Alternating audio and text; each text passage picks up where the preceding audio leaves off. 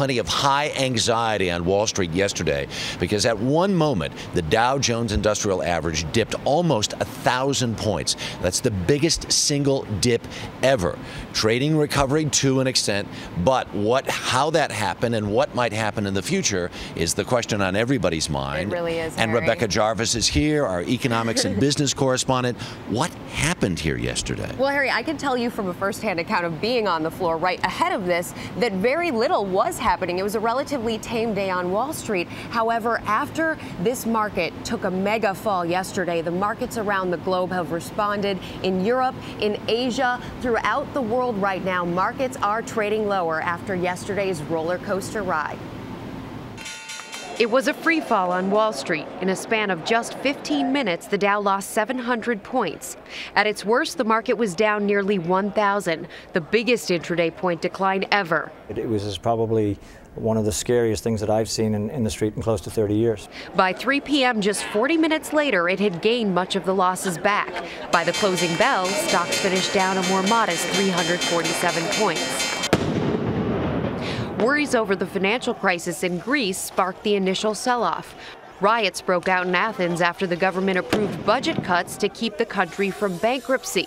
Investors fear Greece's troubles could spread throughout Europe, slowing a global recovery. We hope it, that the people in the European Union can come together and resolve this, that it does not turn out to be the first domino to fall. Late in the day, surprising reports that the afternoon panic and sell off may have actually been caused by a trader hitting the wrong button on a computer. Some on Wall Street speculate an order to sell was placed in the billions instead of millions. Remember, we do a lot of computer trading down here, so that came in and just pushed the market right down. But while the cause is still under investigation, this roller coaster ride will likely spook investors. I am concerned that the volatility that people saw will make them a bit more cautious in their trading over the next couple of weeks. That could make markets thinner as fewer participants are in the game.